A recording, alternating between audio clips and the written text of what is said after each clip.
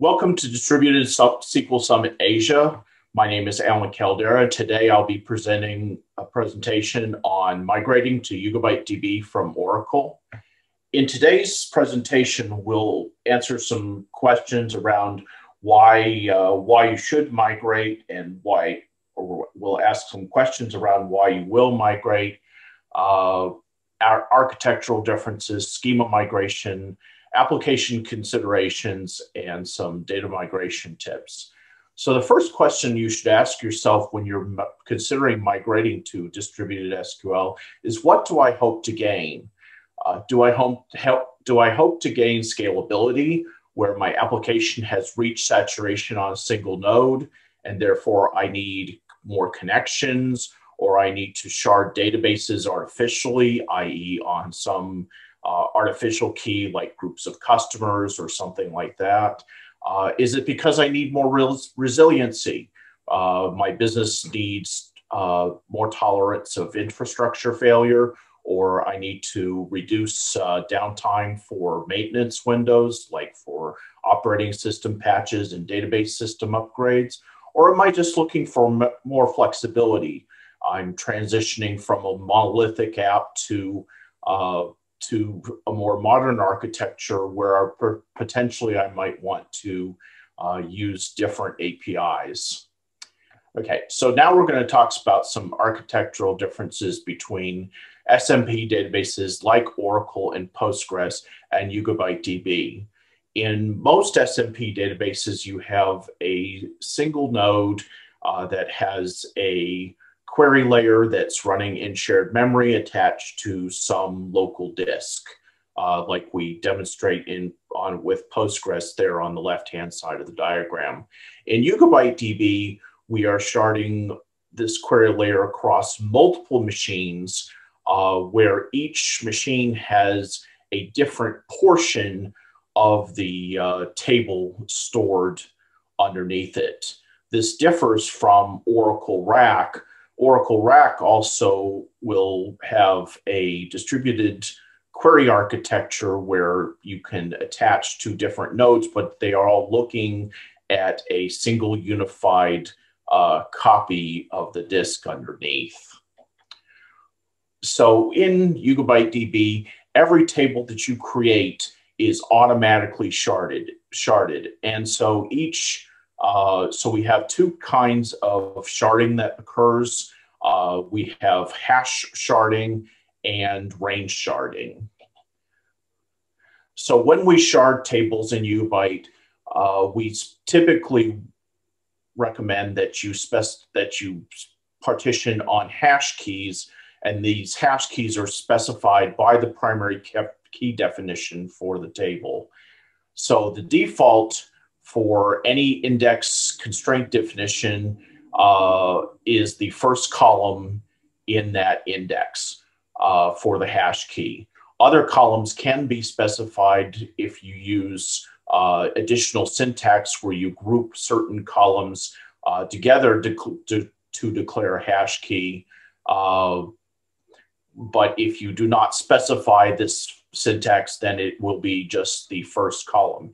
It is important to note that uh, the cardinality of this column will make a big difference as to how many uh, partitions you end up with, i.e. don't use uh, something like a Boolean or something that's got a low number of values. Otherwise, you end up with a very small number of uh, potential uh, tablets. If no primary key is specified, then we generate a pseudo internal row ID that is used to partition the table. Tables can also be range sharded with tablet splits where we can specify uh, a syntax with split at, but it is usually difficult to know the best, best split points at uh, design time. So tablet splitting uh, will occur based on sizes of tables, and this is uh, controlled by uh, server uh, uh, settings specified uh, during creation. So let's talk about data types. So when we map Oracle data types to Yugabyte types, there are a couple of key rules that we need to keep in mind. for the most part, uh, text type uh, text type columns will will be will come over natively without uh, too much trouble. Uh, we don't have any special specification as far as the difference between uh, characters that can be single uh, single byte characters and multi-byte characters. This is handled at a different layer. Uh, we don't support large objects. We'll talk about a little bit more about that in, in a bit. The by far the most difficult uh, thing to get right between Oracle and Yugabyte is uh, the numerics. So in numerics, uh, we're talking about things like decimals, uh, uh, in particular decimal, you know, decimal 38, number 38. Uh, these uh, these types use different storage formats, and so the uh, limits on the limits on the uh, size of them can be different uh, depending on the uh, implementation. In particular, number uh, 38, which is a very common sequence number that is found in Oracle applications, is actually a 128 bit unsigned value. So its limits of uh, values are usually uh, far beyond uh, what a what other applications can do. So uh, we usually need to be uh, careful about how we convert those over. Uh, most of the other data types are fairly straightforward, um, mapping to either plain varchar types or the equivalent uh, uh, double precision or um, you know small float type values. The next thing we wanted to discuss is primary key definitions. So the problem is that Yugabyte DB does not support adding the primary key after table definition. Uh, so our general solution is that we want, we ask you to create, do a schema only dump and then move the primary key definitions into the definition for the table in the create table statement. Uh, this is because we will actually create the table to be indexed organized according to the specification that we give that you give us. Uh, we do have an open GitHub issue on this where we are looking at uh, allowing you to change the definition right after the uh, table is created, uh, but before any data is loaded. Uh, and this can be looked up on GitHub issue 1104. Uh, but for the meantime, always specify your primary key in the create table definition. Let's discuss uh, the sort order for the various indexes, including primary key. Uh, in DB, the sort order for the primary key or the index of a table determines the data distribution strategy for that object across the nodes. The problem is that if you just use uh, ascending or descending sort orders without hash, uh, is that this will place the uh, object in a single shard on a particular node. This is because in a distributed architecture, there is no way to guarantee order across uh, across a distributed system without it being just in one place. Now, as we I mentioned earlier, we do support tablet splitting on size because it is uh, difficult to understand. It is difficult to pre-plan where these split points uh, will happen but uh, we always want you to specify a hash in, in addition to a index um, in, in addition to an index order. Uh, so, you know, typically the way to do that would be you would have some one to many columns in the specified as the hash and then all subsequent columns as being ascending or uh, descending. The next issue we want to discuss is that we have a large number of tables and indexes in a lot of applications. And so with this number of objects, Yugabyte DB will by default create a very large number of shards or tablets for every node for every table. So if you have uh, each one of these shards will basically have to report its status to the YB master process every half a second. So this can have a very negative uh, impact on performance. So if we're talking about you know tens of tables, it's not a not a concern. If we're talking about hundreds or even thousands of tables and indexes, this can become a problem very quickly. So what we want to generally do is in those in those cases for a lot of these small tables, it's really not beneficial to distribute uh, distribute the table at all, especially if it's less than a million rows. So what we what we suggest is to use the colocation property, i.e., uh, create database with colocation, collocated equals true, uh, to basically put all the smaller tables in in the co-located database and then the true distributed tables, the large uh, tables that the tables that will grow large over time, we want to actually split out and say these are not co-located. The next issue we run into is that uh, or databases like Oracle like to support uh, collation, you know, especially natural, you know, localized uh, language collation sequences. We do not currently uh, support that, but we will so do so in the future. Uh, we also do not support any specific table uh, table space uh, definitions at this time. So when you're doing your migration, we want you to actually remove the, uh, any special storage parameters in this case. The last issue that we want to talk about in schema migration is the con is the um, is the use of identity columns. Uh, these are typically surrogate keys. Uh, and so when you make, you do your first, uh, typically when you do a migration uh, and you cr create it, you know, in Postgres, you will create a sequence. Uh, and by default, it will actually say, okay, I want a sequence number to create to uh, control the generation of this surrogate key. And the default cache value is typically one.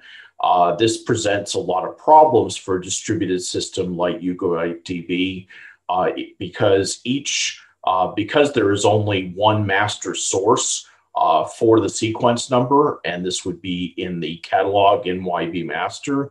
So every time that you go and ask for a new sequence number, then it must make an RPC call to YB master in order to uh, satisfy that request. So what we do is we say, okay, you need to alter the sequence uh, to basically cache uh, a number of values uh, so that uh, when the uh, request is made, it doesn't have to go and fetch that uh, fetch that value every so often. It only has to fetch that value every so often. Uh, the second way we can solve this is to use a UUID instead of a sequence object. This way that you don't have any uh, issues with actually having to uh, generate uh, you know, a standard number. Uh, and the keys are uh, you know, guaranteed guaranteed to be more unique. This specifically becomes important when you're using features like our X cluster replication product, where you have two independent clusters. And when you have two independent clusters, there is no way to guarantee uh, that you will have different sequence numbers uh, being generated on, uh, on each cluster. Uh, the performance impact of this is, is actually fairly profound. Uh, so when you, I'll give you an example. So recently we were doing a migration with a customer and they had a, uh, a sequence number with a cache value of one and they were only getting uh, somewhere in the neighborhood of 100 rows per second. We increased the cache value to uh, 10,000 and they immediately jumped up without changing any code. They immediately jumped up to doing 800 records per second. So uh, this is very important. Uh, lastly, we want to talk about uh, uh CLOB and blob column types. Uh, so we do not support these large object types. So what we want you to use instead is either text or byte array or JSONB instead. Uh, so by default, we can support message sizes up to 32 megabytes. So if your objects fit within the, that size, uh, then those types should suffice for you. Um, if they don't, uh, then what you will want to do is you will want to decompose those objects into smaller elements that can be portioned out with uh, point lookups. So instead of having one big large uh, CLOB column, maybe you have uh, different, you know, use a different uh, column to indicate, okay, well, maybe this is part one, this is part two, this is part three, and you decompose uh, the record further into uh, smaller, uh, smaller types. Generally, this has uh, not been a, an issue to date. So the next thing we want to watch about, watch out for are Oracle cartridges and extensions that require special indexes the problem is is that there are some indexes that, that require that involve geospatial special text search capabilities that require either GIN, which is an inverted index, or GIST, which is a geospatial bounding box or R-tree type index.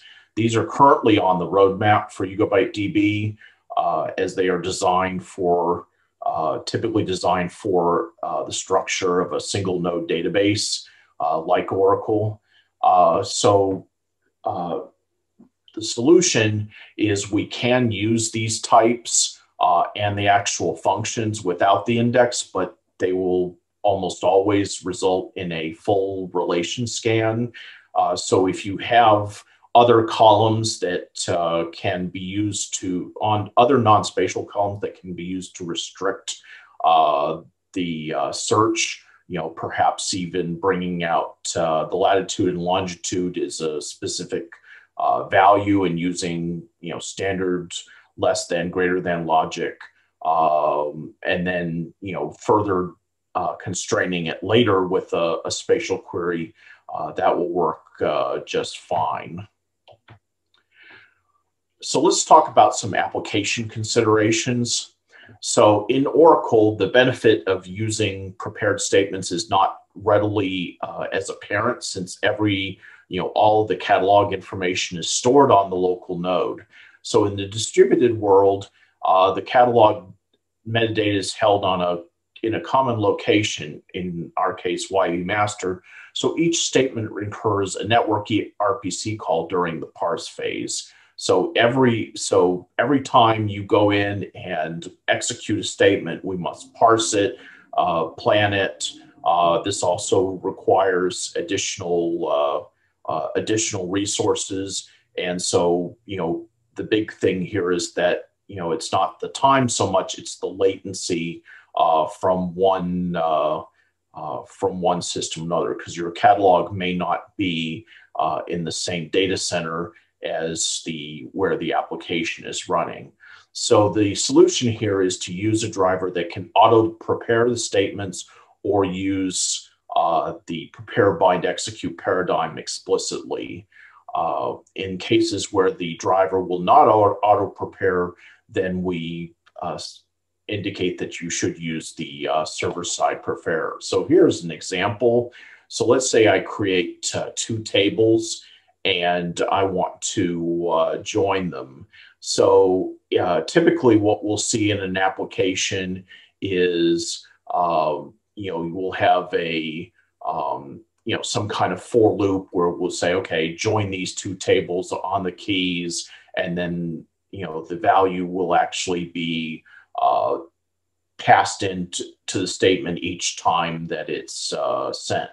So what we recommend that you do is prepare the statement beforehand uh, and then use uh, markers, uh, variable markers within the uh, statement so that uh, the statements can be planned once, uh, parsed and planned once, and then executed multiple times. This can help your performance greatly. The next thing we want to discuss is a large number of concurrent connections. Usually this is uh, this comes up uh, about uh, the second call or so when we uh, are talking with a potential prospect is they want to know how many connections can we support. So by default, we uh, can handle uh, 300 connections per T server. So if you have a if you have a uh, a three node system, which is the minimum size, then potentially we could handle 900 connections right off the bat. I will say that there is a uh, proviso on that, uh, in that uh, this is geared around having a very small number of databases, i.e., one.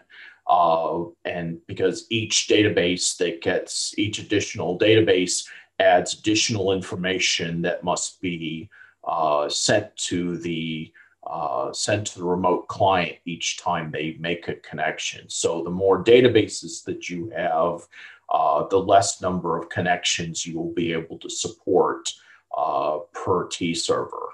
So in a micro in a microservices architecture, which is where we're typically uh, seeing Yugabyte DB deployed, this is not a concern. Uh, in if you are looking at a case where you want to support many different uh, databases, then our recommendation is to use um, is to use schemas rather than uh, specific uh, than different databases. The other thing that we that you should be looking at using is using a connection pool like Hikari. Um, so this will dramatically reduce the number of actual connections that you need to make to the database. Um, and then lastly, what we also say if you want to, instead of looking at increasing the actual number of connections uh, per node, then at the point where you feel like you don't have enough connections, then you really should be looking at increasing the number of nodes. So it using, you know, using more nodes uh, will make uh, will make more for better scalability other than just increasing the load on uh, the additional the existing uh, tablet servers. So the next problem we want to consider is how to distribute load, load evenly across the cluster. Uh, the problem is, is that most uh, SQL drivers are not cluster aware and they're designed to uh, connect to a single point. This is different from uh, Cassandra, which grew up being a distributed uh, a distributed architecture, and therefore its driver was designed to connect to many different nodes. Uh, so for uh, for applications like Postgres that grew up in the single node world, uh, there's a couple, there's three different solutions we can use. One is we can use a round robin load balancer like HA proxy or Nginx, or perhaps even a cloud-based load balancer if you are in a uh, cloud like uh, AWS, GCP, or Azure. Uh, the second way is you can modify the query, the application to distribute the queries across the nodes. Uh, so this could be done by creating a local DNS entry uh, that has a list of all of the nodes uh, that uh, belong to a particular cluster. Um, and so when you, if you want to go look at what nodes are available, you can look at, you know, look through our uh, Cassandra API at the system dot peers table, and that will tell you all of the different uh, nodes that are currently present in the cluster. Um, the third way is to use uh, some driver specific functionality to do load balancing. In particular, uh, JDBC for Postgres allows you to specify multiple hosts either for failover or for load balancing. And so there's a special uh, uh, setting called load balance hosts. If you set it to true, it will actually go across all of the nodes that you specify in that particular JDBC URL. Otherwise, it will do a, uh, a simple failover. So the next thing we wanted to discuss is retrying transi- transactions on conflicts. So typically, Oracle will use uh, pessimistic locking with either row or table locks with the ability to wait on those locks. Uh, we do not currently have those supported, so we generally use optimistic locking, which provides much better performance. But when conflicts are actually detected, then we will basically abort uh, one of the transactions. And typically that would be the one that is submitted last. Uh, so when you what your application should be doing is it should always be looking to retry uh, transactions uh, when uh, when conflicts are are detected, and it's a good idea anyway because unlike other databases, you know, if in a in a SMP database type case, if your application is uh, if your application is if your database is down, your application is down. Uh, in our case, uh, you if you get a negative response from the database, it's not because the database is down, it's because the database actually moved your workload somewhere else. Because, you know, with Yugabyte being distributed, it can move things from one node uh, to another. So at that point, when you receive an error, then you should look to retry. And part of this will be, you know, I might have to reconnect uh, as well in the long term, we are look, working on ways to uh, transparently uh, handle these conditions. Uh, but uh, for the most part, what you should be looking to do in your applications is to handle these types of exceptions like serialization failure or failed to contact host and basically just retry uh, the transaction from the uh, beginning so the next thing we want to talk about is watching out for hierarchical queries. So this would be, in particular, this would be uh, about uh, connect by. We can simulate this syntax in one of two ways.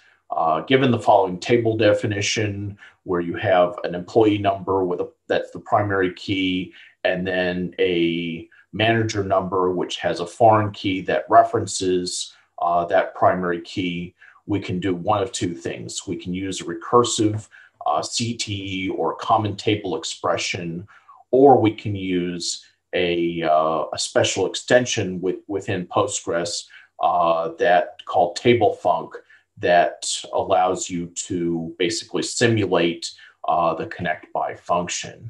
So here's, uh, here's an example of this. So with a recursive table, common table expression, we can basically do what we call the, uh, the base case where you start, uh, in our case, since we're going to start from a manager, um, you know, so we're going to start basically start from the guy that has no manager, i.e. the, the big boss at the top.